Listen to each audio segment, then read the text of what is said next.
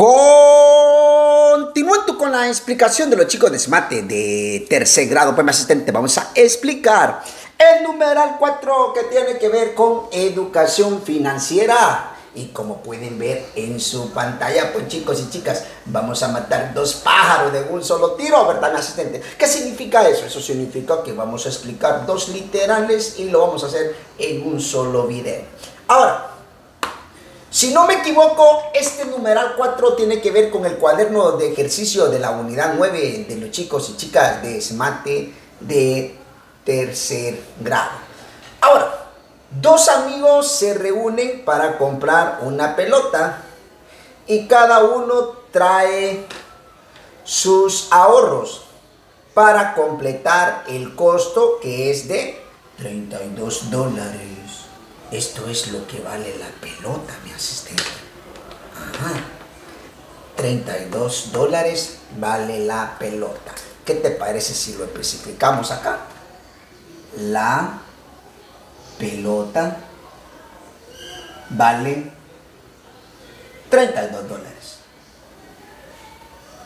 Ahora, y dice, si Luis ahorró 15 dólares y su amigo 20 dólares, la pregunta que nos hace en el literal A, ¿cuánto dinero han reunido entre los dos? Para contestar esta preguntita, el planteamiento operacional que nos va a ayudar a contestar esa preguntita sería lo que reunió Luis, que son 15 dólares, que solamente vamos a poner 15, tenemos que sumarle lo que reunió su amigo, que es en este caso 20 dólares, que solamente vamos a poner 20. Y este sería el planteamiento operacional, el que me va a ayudar a contestar esa preguntita, cuánto dinero han reunido entre los dos. Ahora, entonces, vamos a efectuar la suma verticalmente, mi asistente, ¿qué te parece? Tenemos acá lo que es, en este caso, 5 unidades, una decena, y en el caso de el amigo, cero unidades y dos decenas. Ahora, vamos a efectuar la suma, mi asistente, ¿qué te parece? Entonces decimos, 5 más 0 es 5 y 1 más 2 es 3. Eso significa que si nos dice cuánto dinero han reunido entre los dos, aquí lo tenemos, entre los dos han reunido 35 dólares parece, mi asistente?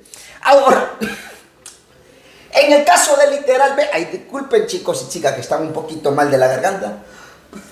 En el caso de literal B dice, ¿les alcanzará para comprar su pelota? Bueno, si la pelota vale 32 dólares, ¿cómo vamos a hacer para contestar esa preguntita? Bueno, el planteamiento operacional sería a que nosotros digamos lo que ahorraron entre los dos que es 35 dólares, que solamente vamos a colocar el 35, le vamos a restar lo que vale la pelota, que en este caso se sabe que vale 32 dólares, que solamente vamos a poner 32.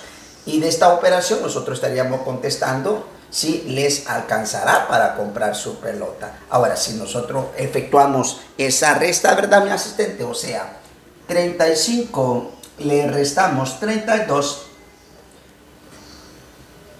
y decimos, a 5 le quito 2, me queda 3.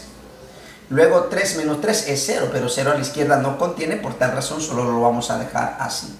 Y nos vamos a dar cuenta, mi asistente, de que todavía le estaría sobrando que, vamos a poner por acá, le estaría sobrando 3 dólares. para ir como decía mi abuelito por ahí, si nos dice, ¿les alcanzará para comprar su pelota? La respuesta sería, sí les alcanzaría, alcanzaría, sí les alcanzaría para comprar la pelota. Incluso les estaría sobrando. Ahí lo tenemos. 3 dólares. Ahí lo tenemos. Y de esa forma, ¿verdad, mi asistente? Nosotros estaríamos contestando el numeral 4. Bueno, pues te gustó el video, dale like y compártelo. Si todavía no estás suscrito a mi canal de YouTube, te invito a que te suscribas. Dios te bendiga y buena suerte con tus ejercicios. Chao.